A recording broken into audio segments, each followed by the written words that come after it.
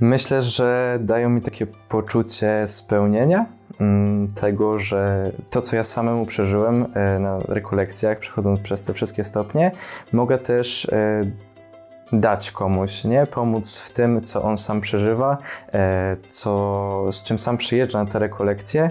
I też są takim czasem, w którym ja przez te 17 dni mogę pogłębić swoją relację z Bogiem, być tam cały czas właśnie dla Niego i widzieć Go w tych wszystkich ludziach, którzy tam są.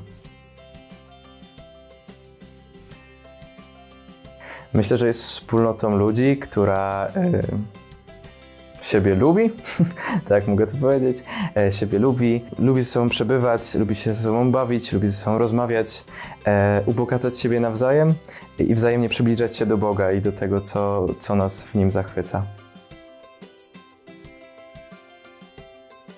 To będzie trochę stronnicze, bo jestem muzycznym, więc szkoła śpiewu, ale myślę, że takim też fajnym punktem dla mnie e, i ulubionym jest niewątpliwie modlitwa wieczorna, dlatego że jest to taki czas mojej takiej posługi, e, posługi takiego mojego charyzmatu też, e, tym, że tam też mogę się dzielić swoim talentem i swoim charyzmatem i tym sposobem ubogacać też innych.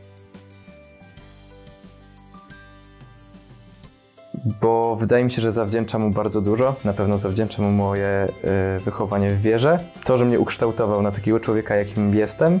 I myślę, że po prostu chciałbym też oddać to, co sam dostałem. Oddać to, co sam mogłem dzięki niemu przeżyć e, i tym sposobem też pomóc innym. Razem budujmy Kościół.